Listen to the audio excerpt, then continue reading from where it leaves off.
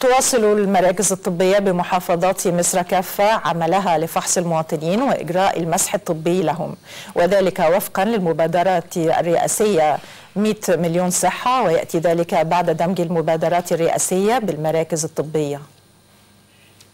أكثر من مليون وثمانمائة ألف سيدة تم فحصها وفقا لمبادرة الرئيس 100 مليون صحة لصحة الأم والجنين وذلك للاكتشاف المبكر للعديد من الأمراض كفيروس B ونقص المناعة والزهري. بل ومتابعة الحمل والجنين بعد الولادة وأخذ التطعيمات والتغذية العلاجية اللازمة لهؤلاء الأطفال. الام الحامل ليها هنا عندنا فحوصات ومتابعة وعلاجات وبنديها كل ال supplement والحاجات اللي ممكن تحتاجها وبنعمل لها التحاليل اللي منوطه بإنها تشخص أي أمراض موجودة في ال baby أو فيها ينفع نعالجها وهي حامل أو أول الولادة ما تتم نقدر نستقبل ال baby دوت ونقدر نعالجه علشان في حاجات لو ما تعالجتش في الأول ما بيبقاش ليها لازمة بعد كده إنها تتعالج ما بتتعالجش أصلا. الحاجة الثانية أول ال baby ما بيتولد بنبتدي نديله تط...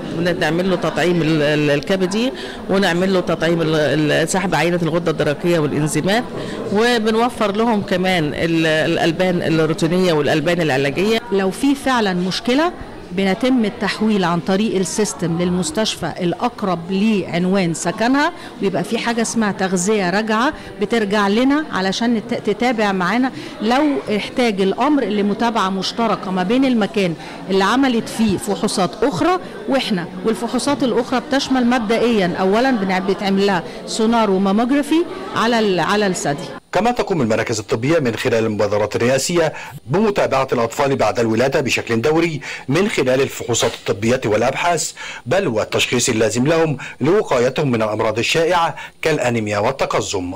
بنقيس لهم الطول بنقيس لهم نوعيه الراس بنقيس لهم الوزن بتاعهم عشان نكتشف أي أمراض بدري عشان نلحق نعالج بدري.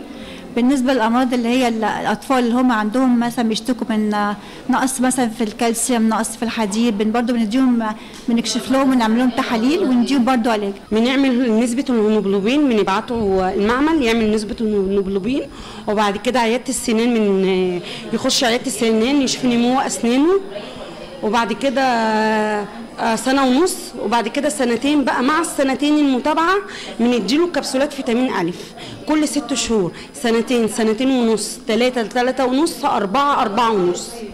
والمتابعة لغاية خمس سنين قبول واستحسان من قبل المواطنين لما يقدم لهم من خدمات تشخيصية وعلاجية على مدار الساعة بالمجان.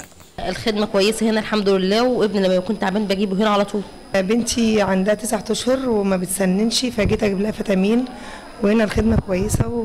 وتمام الحمد لله. الخدمة ممتازة وناس محترمة بصراحة وبيعاملونا كويس وبناخد علاجنا لأطفالنا. إقبال المواطنين على المبادرات الرئاسية 100 مليون صحة بالمراكز الطبية يؤكد وعيهم الكامل بأهمية تلك المبادرات الفاعلة فالوقاية خير من العلاج.